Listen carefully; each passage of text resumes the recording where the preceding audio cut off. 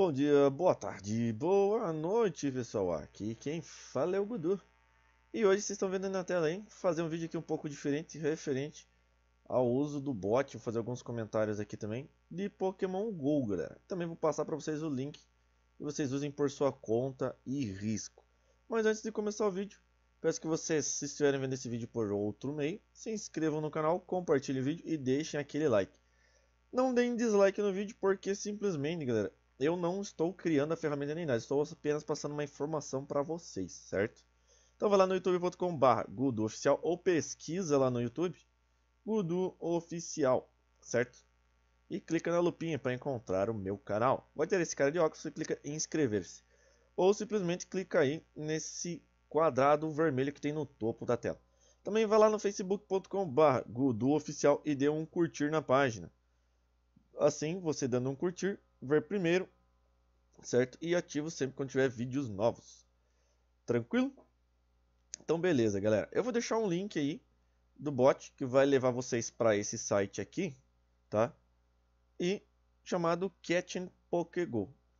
Bom, galera, o negócio é o seguinte. Uh, se esse bot deixar de funcionar, ele só funciona é, no computador e a princípio só funciona no Windows. Então eu não sei se vai ter para Mac, se vai ter para Linux, etc, etc, etc.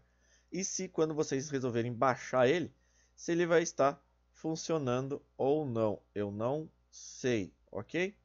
Bom, na verdade ele é bem simples, cara. Vocês vão clicar no link, tá?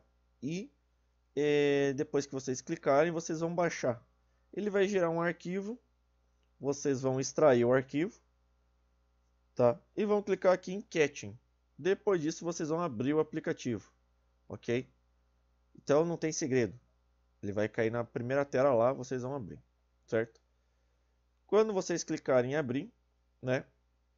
Vocês vão adicionar uma conta, seja sua conta é, do PTC ou sua conta do Google, na primeira tela aqui em Settings, certo?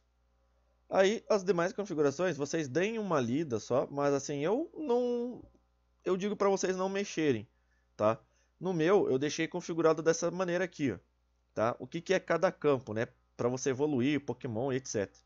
Você vai clicar aqui em add new bot, tá? Você vai colocar qualquer nome, no caso aqui eu coloquei Gudu, Gudu02, Gudu03, 04, 05 e etc, ok? Aí vocês vão configurar ali o mínimo que vocês querem do IV né, para o Pokémon evoluir, etc. Então esse é bem interessante nesse sentido. É, a questão de priorizar o bot por IV e CP para transferir ou priorizar só o IV sobre CP e renomear para o CP. Vocês vai ficar a critério de vocês. É, geralmente quando se pega pelo bot tem um problema que é muito Pokémon igual. Então o que, que acontece? Eu deixei aqui para manter só 3 no mínimo e o IV mínimo de 80, porque depois eu vou lá manualmente com outro aplicativo para ver se o IV está perfeito ou não. Então essas configurações ficam a critério de vocês. No Walking Speed não é interessante vocês colocarem muito rápido. Eu alterei só o máximo para ficar 15 km por hora e 20, como se você estivesse andando de bicicleta, certo? Quer dizer, 10, falei errado. 10 no mínimo e 15 aqui.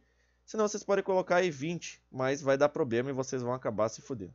Usar o caminho humano parar o boot dependendo do erro de login e etc, ok?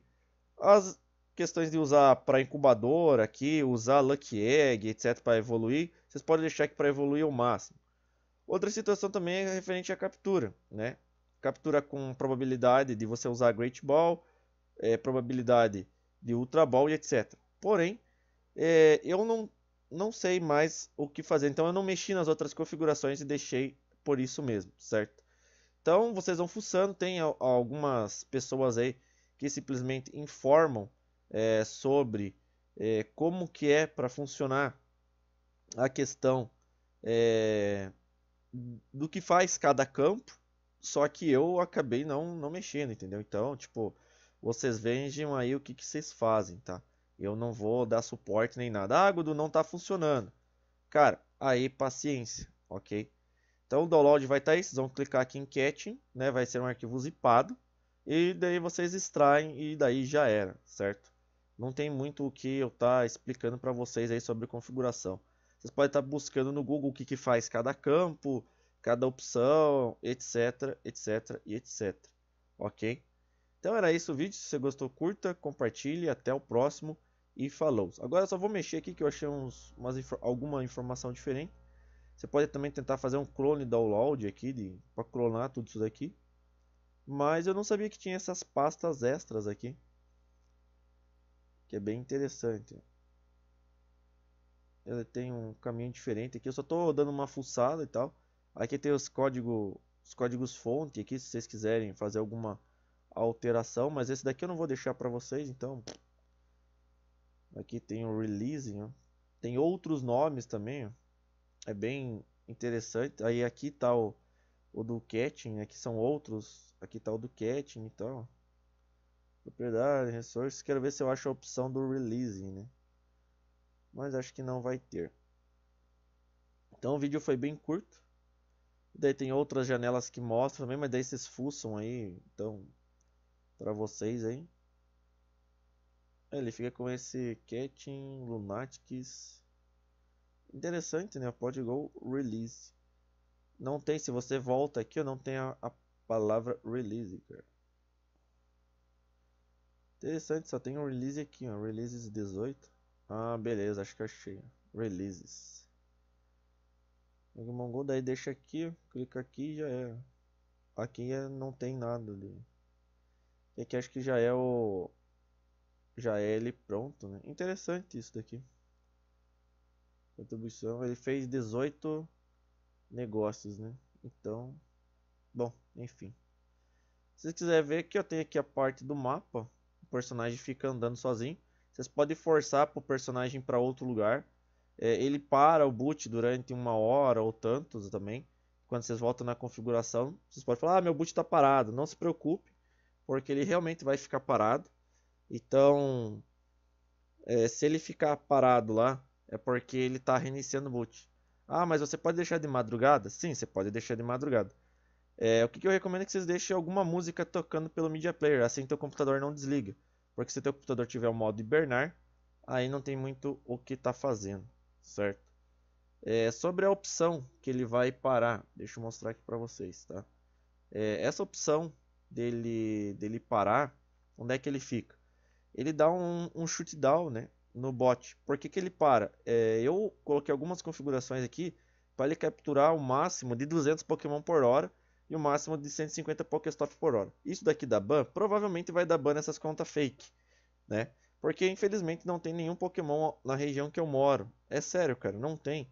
Aí eu estou upando essas continhas fake e testando aí. Mas vamos ver o que, que acontece daqui um mês, daqui dois meses, né? Se essas contas vão existir ainda ou não.